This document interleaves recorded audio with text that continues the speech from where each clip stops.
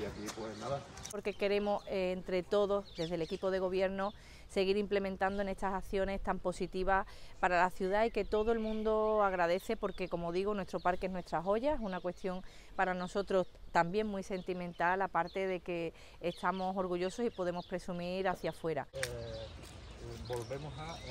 Y va a cambiar completamente la fisonomía desde la accesibilidad porque vamos a eliminar todas las escaleras que actualmente existen para llegar a las diferentes eh, partes de, del parque, vamos a hacer caminos nuevos, bueno, plantaciones, un nuevo mirador que será un espectáculo porque dará, eh, tendrá una vista hacia la nueva intervención que vamos a hacer también próximamente en el Molino de Oromana, donde va a estar ese restaurante que, que todos saben en la Casa del Guarda. La margen derecha necesitaba una mejora importante, eh, habíamos volcado gran parte de nuestra inversión en, en estos dos años anteriores en la parte de Oromana, zona de Oromana, con los miradores, plantaciones, etcétera, y creíamos que el margen derecho, pues con la actuación de Macesa se quedaba un poquito corto la, esta zona y queríamos implementar esa inversión que ha hecho Macesa tan importante con el colector del margen derecho, con esta parte que queda desde el Polideportivo San Juan hasta Rabo de Zorra. Se va a una inversión de 485.000 euros en tres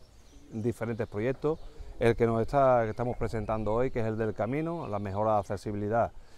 eh, en la zona del Molino de San Juan haremos un camino suave con un gran mirador que dará justamente frente al Molino de Romana y en este caso estos caminos que están muy deteriorados pues tendrán una actuación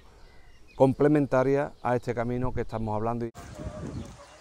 O seguiremos invirtiendo no solo en esta parte de San Juan, sino a, lo largo de todas las riberas del Guadaira, para que cada día, aparte de protegerla, estemos más orgullosos de nuestras riberas.